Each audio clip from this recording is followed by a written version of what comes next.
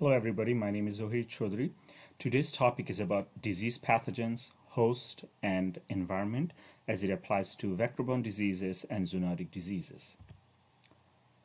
A pathogen is any biological agent that can cause disease or illness in its host. These pathogens can be bacteria, viruses, protozoa, parasites, helminths, prions. The table below displays the different types of pathogens.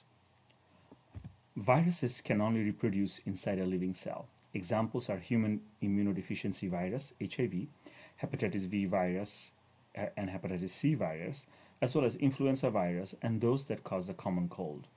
Viruses carried by arthropods, such as mosquitoes and ticks, are known collectively as arboviruses.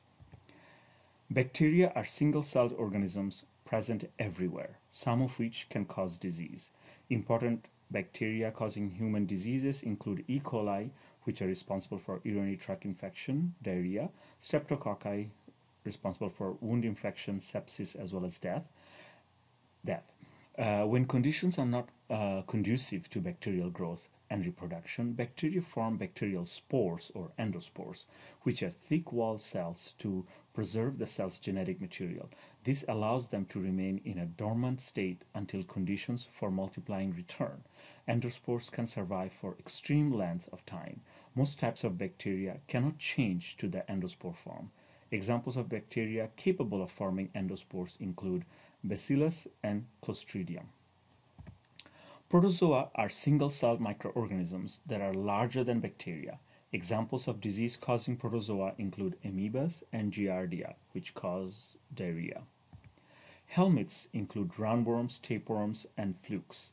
They infect humans primarily through uh, ingestion of eggs or um, uh, or when the larvae penetrate the skin or mucous membranes. Helminths can cause direct damage to internal organs physically and chemically uh, can modulate the host immune response and can result in anemia and malnutrition. Prions, on the other hand, are a form of infectious protein believed to be uh, the cause of several neurodegenerative diseases such as uh, Creutzfeldt-Jakob uh, disease, a severe brain disease. Like viruses, prions are not considered living. They multiply by inducing the host proteins to refold into an abnormal shape, accumulate in, and destroy neurons. A host is a living organism on or in which a parasite lives. There are different types of hosts.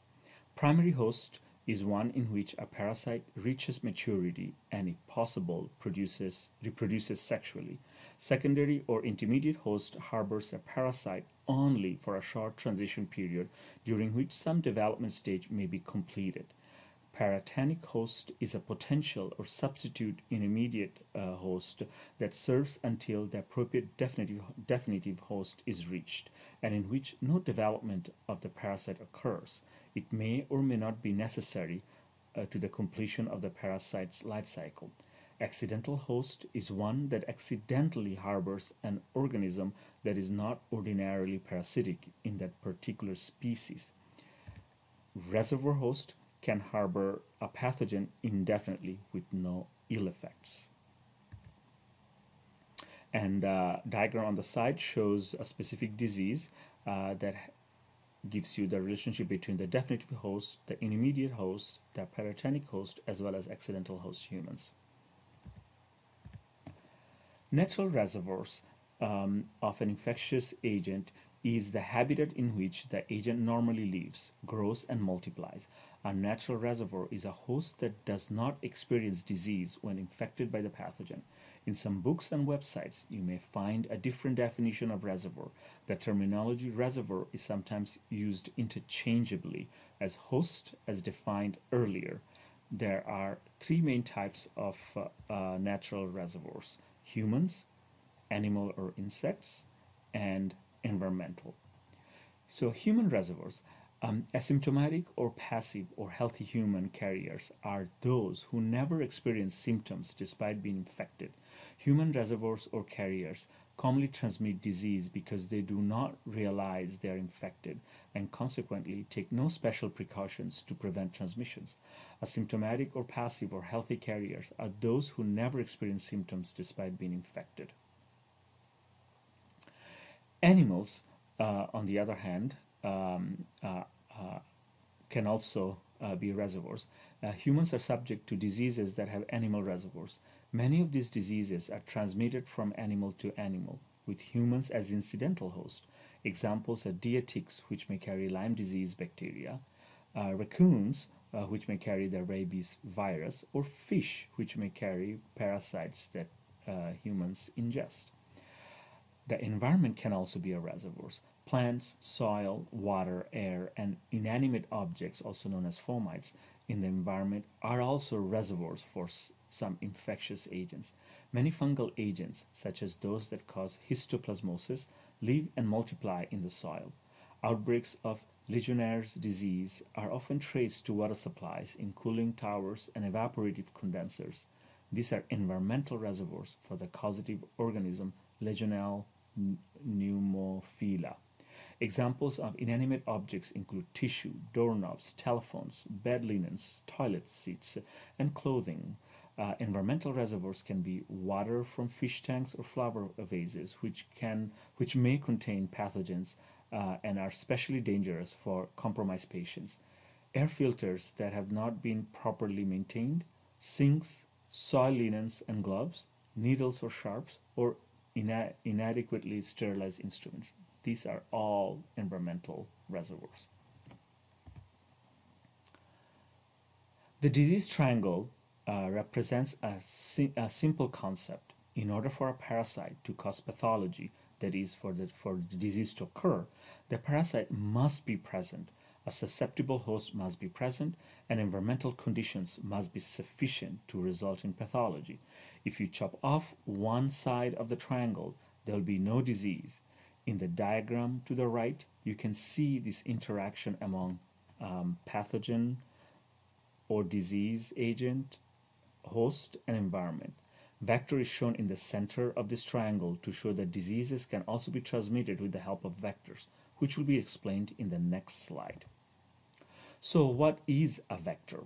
A disease vector is a living agent that transfers a pathogen from one organism to another the vector can transport the pathogen from an infected individual or its waste to a susceptible individual or its food or immediate surroundings. Diseases carried by vectors are known as vector-borne diseases. Vectors act like vehicles that transport pathogens from one host to another. As shown in this figure, insect vectors are shown in the middle connecting the animals with animals or animals with humans. In this slide, you can see examples of vectors. For example, um, you have mosquitoes, ticks, fleas, roaches, and lice, as well as sandflies, kissing bugs, snails, and mites. Zoonos zoonosis or zoonotic diseases.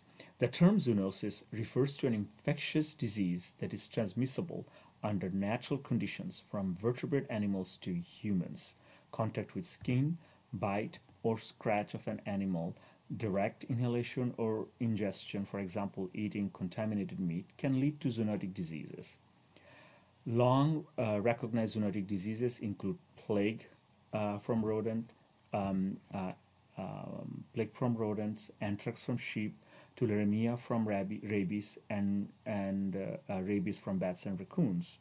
Um, sorry, tularemia from rabbits, I'm sorry, and rabies from bats and raccoons dogs, and other mammals. Many newly recognized infectious diseases in humans include HIV, AIDS, Ebola infection, and SARS. All of these are thought to have emerged from animal hosts. Zoonosis as compared to anthroponosis. Infectious agents vary greatly in how they transmit the disease. Diseases transmissible from humans to humans are known as anthroponosis, example rubella, smallpox, diphtheria. These pathogens have adapted via evolution to the human species as their primary, usually exclusive host. In contrast, Zoonoses are diseases that are transmissible from animals to animals or from animals to humans, but animals are the natural reservoir for those infectious agents. Example rabies. There are directly transmitted anthroposes such as TB, HIV, AIDS, and measles, and zoonoses, example rabies. There are also indirectly transmitted vector-borne anthroposes uh, such as malaria, dengue fever, yellow fever, as well as zoonoses such as bubonic plague and Lyme disease.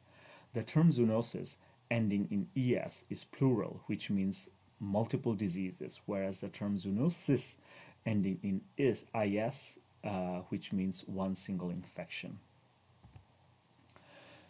Zoonotic diseases can also spill over to humans. In this figure, the darker green shaded area waving up and down uh, in here uh, represents cycles of occurrence uh, of the pathogen in wild animals, in wild animals reservoirs.